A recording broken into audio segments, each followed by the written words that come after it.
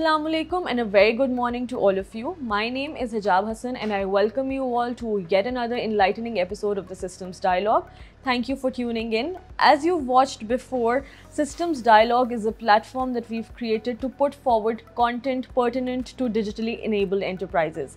In our previous episodes, like you watched, we spoke about metaverse, we had speakers talking about digital infrastructure, security, cloud computing, and all those areas that you would want to know about. With me here, I have Babar Usmani, who is the head of design transformation and strategy at Systems Limited. Over to you, Babar. Thank you so much for having me, uh, Hijab, and uh, uh, welcome you to our Studio 77. Glad to be here. So, Babar, tell us about simplify design thinking for us. What is design thinking? How did this uh, concept become popular? And what value can businesses generate from implementing this process into their, um, you know, strategy? In an essence, design thinking focuses on empathy. Now, empathy is like the cornerstone of design thinking. You're, you're designing anything. Let's say you're designing experiences. You're designing uh, anything for your internal uh, employees or you're designing something for, let's say, uh, patients in healthcare, design thinking can be used for literally anything. It's a problem solving methodology. And more than that, it's a mindset. It's a mindset that really focuses on creativity, on nurturing innovation, and getting uh, diverse perspectives from from different uh, from different angles and point of views. So, in a nutshell, it, it's it's focused on the customer, and it really deep dives on the customer's environment. So we do those kind of user researches where we go into the field uh, and we actually observe that the customers, we observe different users that are using our products, and we reflect on that. We come back, we reflect on that, and then we start making that stuff. In our previous conversation, when we were planning this entire session out, you spoke about Nike, you spoke about Apple. Would you like to share it with our um, viewers here? How have they implemented design thinking into their products? if if I were to ask you, I mean, when we pick any uh, any sneaker or any apparel, let's say if, uh, any sportswear, we've got a myriad of uh, you know options. We've got several uh, options uh, that we can choose from. But why is it that Nike has built that kind of uh, uh, a huge fan base? I mean, they, they don't even call their customers customers. They they they're like it's, Yeah. it's a complete fan fan base of of Nike. Uh, yeah. And similarly, I mean, for Apple as well, because everything is so detailed, everything is designed. The entire customer journey, the entire customer experience is designed to the pinpoint accuracy. And that can only happen if you're very close to your customers.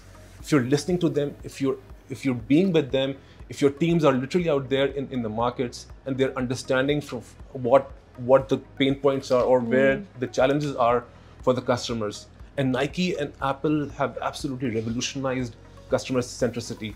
I mean, we've heard uh, uh, Steve Jobs several times saying that you know you don't start from the back end or you don't start from the technology. You start from the from the customer. You you need to understand what the customer's aspirations are, what their motives are behind purchasing something.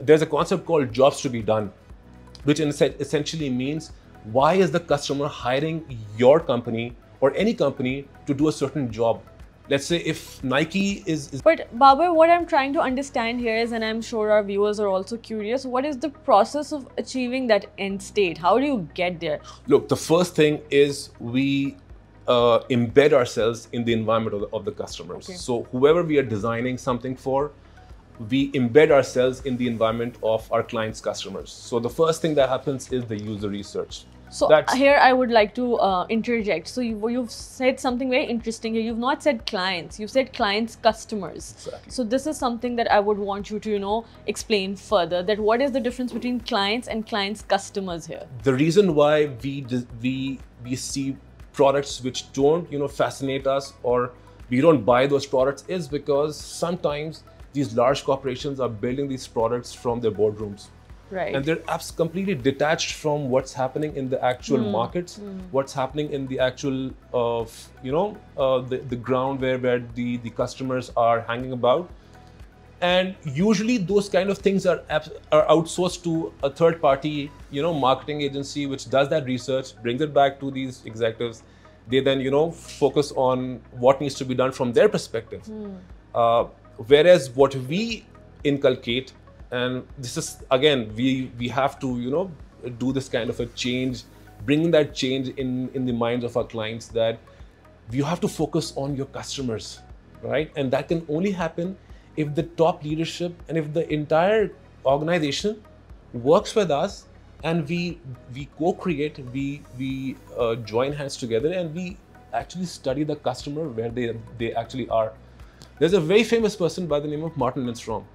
And he's a brand he's the he's a guru in terms of building brands what he does is he has traveled to i think at least 150 or uh, more than 100 countries the only thing that the only thing that he does is he goes to these different countries and he observes customers right. and he brings in that insights and he shares with all these big mncs mm. big hmm. multinational companies uh, that, that we talk about so the idea is to focus on our clients customers so as a process the first step is to embed yourself into their day to day absolutely so what we do is we, we do those uh, field uh, research we we uh, go into the market. Uh, we bring in the users. Mm. Uh, we hmm. bring in bring in our clients' users in in our design studios. We do the, those usability uh, tests with with the uh, with the users. So again, we touch on all all of those fronts: the digital front and also the physical front. So if we are solving for let's say digital, we have to ensure that we are also there in the physical outlets of, of our customers because that's where the cust- most mm. of the hmm. customers are and we, we need to bring those, those customers to the digital front uh, right so the idea is to embed ourselves in the uh, environment of the hmm. customers mm. uh, by by being in the market and also bringing bringing the customers in focus groups in doing these usability sessions with them we give them different scenarios we understand from them what their challenges are what their pain points are and we give them different you know things to do in, in our usability lab here in uh, Studio 77. So, Babar, would it be correct to state that in essentially when you are going through this process, you are emulating a startup, for example, because startups are lean, they're agile, and um, contrary to large corporations, startups from everyone in a startup from the ceo to you know ground to to an executive they embed themselves into the needs and problems of the end users. Absolutely. I mean when i spoke about what design thinking is all about it's a mindset. Hmm. it's methodology. Yeah. But what it really does is it's a mindset.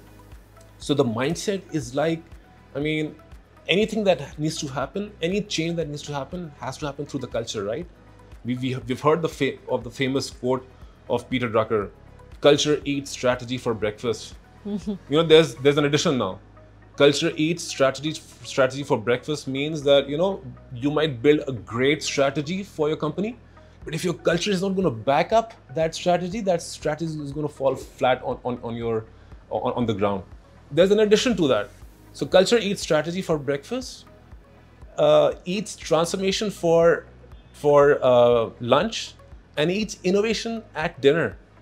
So, whenever we talk about transformation, we miss out on the point that it has to happen with the culture part. The, the transformation, any digital transformation cannot happen if there is no cultural trans- transformation. And if they, they, if the culture is not conducive for co-creation, for collaboration, for you know, for doing experimentation, because again, when you are building something disruptive, there will be mistakes, right? So the most important important aspect is psychological safety. Is my are my is my team empowered enough to take the decisions? Right? If they're designing for something, are they empowered to take decisions? And those decisions can be can go, you know, 100% wrong as well. Yeah. So are they safe in mm. creating those those, those uh, solutions? Now, if the if and that can only happen through culture, right? Because we need to empower, we need to give them confidence. Uh, there's a really good book on uh, design where they talk about creative creative confidence. Everyone is, you know, uh, filled with creativity. Everyone has those those, those creative touches uh, to to, the, to themselves.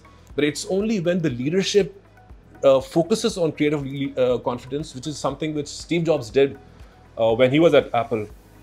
Uh, I was reading a really good uh, anecdote about Steve Jobs, and again, we've all read so many anecdotes about Steve, Steve Jobs, um, but this one really struck me.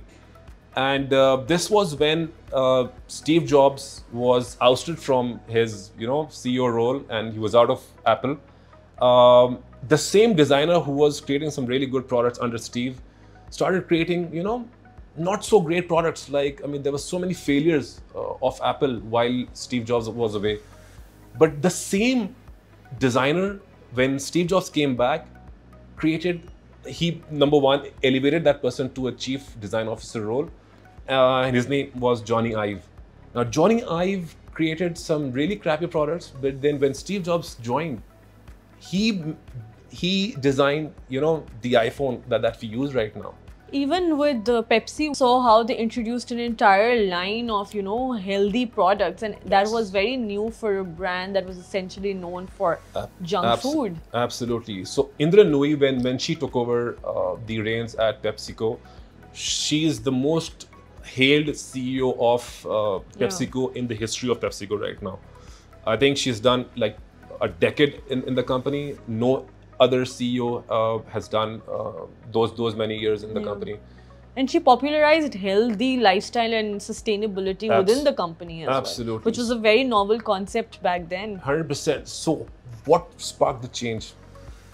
Uh, what the way again the I was reading her book actually, and this reminds me that um, how she she wrote that what inspired this was the fact that her children were con- not consuming healthy breakfasts, and she realized that if they are not, you know, con- into healthy breakfast, how will uh, my audience or my clients or the end user would be inclined towards if I am not, you know, uh, facilitating that for my children.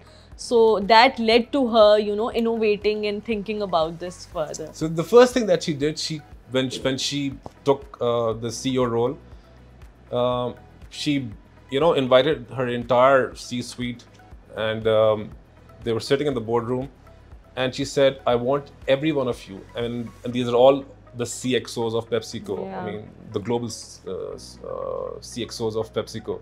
The first thing that she asked those CXOs was, "I want you to go do a homework, take a diary, go to the nearest outlet of uh, Yeah. retail outlet or supermarket and i want you to just observe what the customers are doing when you see them in the retail environment and you see them sell, you see those customers in, in a supermarket perhaps.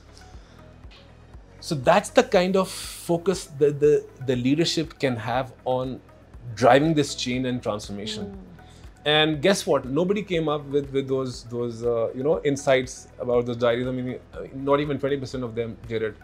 So that was something which she uh, inculcated in, in the organization, and that was the the spark that ignited the so entire not fire. thinking from a profitability mindset but from the standpoint of solving a problem that exists within the social fabric And the first thing that she, one of the another step that she took, which was very important, which had never been done before in the FMCG sector, she hired a chief design officer. Now this guy Mauro Porcini is a hailed, you know, industry veteran when it comes to design, and uh, that person sparked the change in the company. So she gave the she gave design a, a leadership position, a, a chair in the boardroom, you know. So she really elevated the the part of focusing on the customer and focusing on the customer experience. That was tantamount. I mean, it for for Indra Nooyi, it was super important that the whole organization should you know focus on on the customer and that's when these i mean you you spoke about sustainability and healthy products that's when they came up with with it- with, with this uh, complete radical change uh, things which we haven't seen in in uh, in coca-cola right now but they moved on to you know quaker they acquired quaker oats they went on an acquisition spree Tropicana uh, as well. tropicana i mean so when they they focused on juices they focused on cereals they focused Yeah. on all of the healthy items how Yeah. design thinking can actually transform the company and uh, we've seen the, the outcomes, uh, and there's a by the by the way, there's a research uh, that McKinsey did about uh, those design-driven companies um, and how they perform. You know, at the end of the day, and they they tracked like 1,700 companies, um, and they were like it, it, was a whole methodology that that they were fo- focused on, but the the result of that research was the outcome was that design-driven companies outperform their peers, right? At least twice, both in terms of revenue and also shareholder value as well. So we've seen, I mean, what Pepsi did uh, under Indra Nooyi. Uh, I mean, their their stock prices, you know, yeah. they, they, went uh, through the roof. And again, there's another example of another Indian, by the way, in uh, Microsoft. So when Satya Nadella took over, uh, the first thing that he did was, I mean, guess what? he galvanized the entire com- company. Okay. And the first thing they did was to focus on the mission. So he redefined the mission. He writes in his book, it's, it's an amazing book, Hit Refresh, uh, where he uh, crowdsourced in the company, I mean, 100,000 employees plus, you know, and they all had to give their uh, mission statements. Hmm. So it was a huge exercise which went for seven months. What was the crux of it, they were redefining the mission of the company. Because he was the third person to lead Microsoft, and obviously Microsoft had troubles uh, when when he was brought in. And uh, the first thing that he did was he he empathized with with the with with, with his uh, employees. He empathized with his customers. He employs he empathized with his shareholders, all of the stakeholders, and he came up with this great concept called growth growth mindset. So from from being and the tagline which which which goes like and, and lots of uh, literature is out there on how growth mindset transformed uh, uh, Microsoft. But again, it's essentially focused on you know getting away from knowing it all to learning it all. Mm. So it's not about what you know as a hmm. person, the what uh, knowledge you have, what insights you have it's about if Microsoft has to go from X to Y, they need to grow now. So everyone has to get out of their comfort zone and, and start learning. Right. Everyone has to start making mistakes, and that learning process should should never you know stall. Um, so again, I mean, coming back to your point, it's it's all focused on, on culture, um, and uh, design thinking is a great mindset. It's a great tool that the organizations can use to you know drive transformation and drive uh, growth as well. Um, so Babar, these are some very, very interesting examples that we will also link in the comment section so that all our viewers can go back and, you know, gain from these case studies. But what essentially is a design-driven culture in any organization? How can you achieve that? That is something that I'm sure that you have a lot to talk about. yeah, we've touched upon that already uh, in, in a way. But essentially what it means is we need to build an organization around our customers right? We have to work as a startup. I mean, you mentioned, you alluded to, to, the point of, uh, uh, you know, uh, behaving like a startup. The, the problem with large organizations is when they be become big. I mean, we we see those silos, you know, uh, they lose created. sight of what what they set out to do in the Correct. first place. Correct. And being design driven, it it it actually compels you. It focuses you on being very close to your customer right?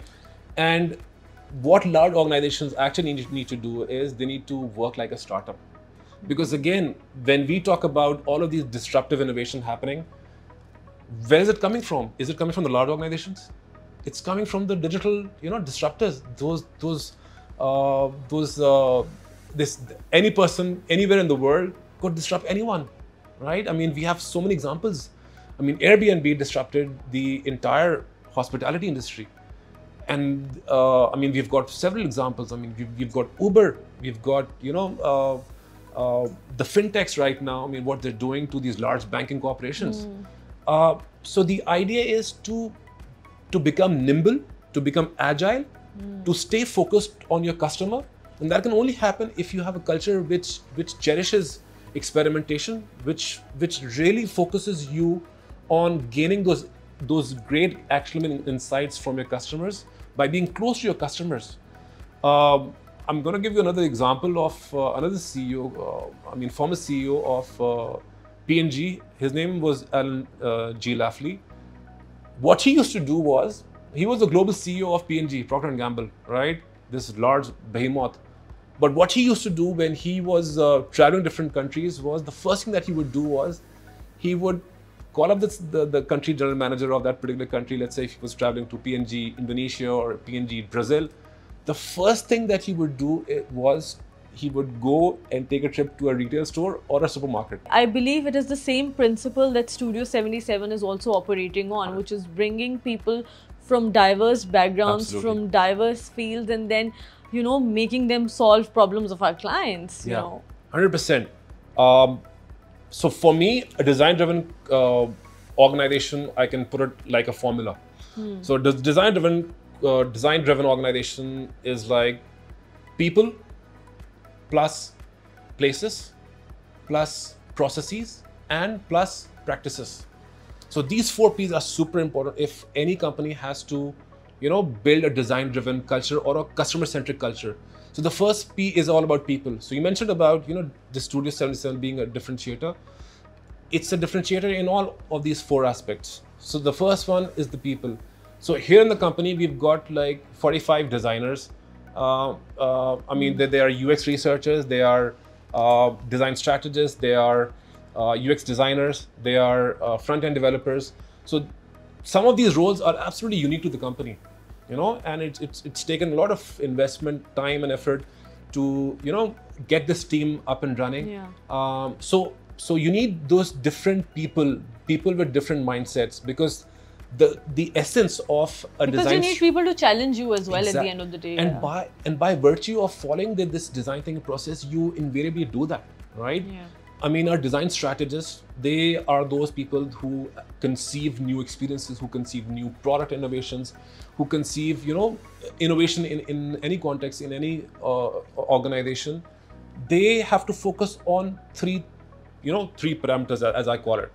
One, they need to know business strategy. The second is they need to know technology. And the third thing, which is the most important piece, is they have to know design and what it can do and bring in- bring to the uh, to the organization. And the the union of these three circles is where the real transformation or the real experience Magic happens. Where the real magic happens. yeah. So that's the first P, which is the, the people. The second P is the places which you talked uh, spoke about. Our studio is purposely built. Uh, companies around the world are building design studios. They're, they're building innovation labs because the idea is that this is going to be the catalyst, uh, which is going to create the change in the organization. Um, the change Because you have to uh, give that people the kind of environment to be able to, you know, conceive new ideas. Exactly. So the idea is not that innovation is just going to happen in the studio. The idea is that it's going to infiltrate into the larger organization, Yeah. and that's that's where the companies are investing uh, investing upon. Uh, you go to P&G, you go to Unilever uh, office. They're all investing in creativity. They're all in, investing in building innovation in creative spaces right now that you can you know really understand what what the customers are, are thinking. The third P is the processes. So hmm. if you want to foster innovation in, in the company, you need to ensure that you, you have the right processes in place. So you need to, you know, ensure that if I have an idea about, let's say, Sys- Systems Limited right now, I should be able to, you know, give that idea across to the higher ups. So companies are investing in these innovation-friendly processes right now. And the last P uh, is the practices, which is the absolute, you know, core of any transformation, which is the practices are the most important bits. So it's how the day starts and how the day ends in the office. Is the is is uh, are those eight hours enabling our resources to think different? Are those eight hours, you know, uh, enabling our our designers or our strategists to move beyond what what's happening right now, to collaborate with other people, to collaborate with uh, interdisciplinary uh, or other functions? So that's the most important piece practices. And companies like Google have, have come up with, you know, design uh, sprints. You might, Yeah. uh, again, it's like a uh, Google's way of, you know, design thinking. Uh, they've made their own versions of design thinking. Uh, call it design sprints. Again, uh, it's those small, small things that happen. It's how the work is done how we approach problems, how we approach our clients' problems and their challenges. That is the most important bit, which is focused on you know practices. So, um, just from the top of your mind, any top three clients that you've thoroughly enjoyed working for at Systems?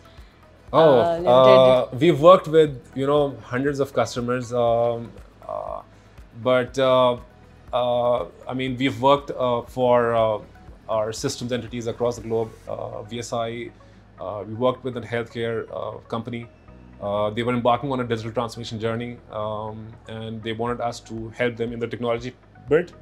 We said no no no. I mean we need we need to do it a bit differently. So we sold them the idea of of having an envisioning session. We are working with clients in the middle east right now. Uh, we are working with clients in in the us uh, in europe uh, right now pakistan is, is our uh, is our home turf.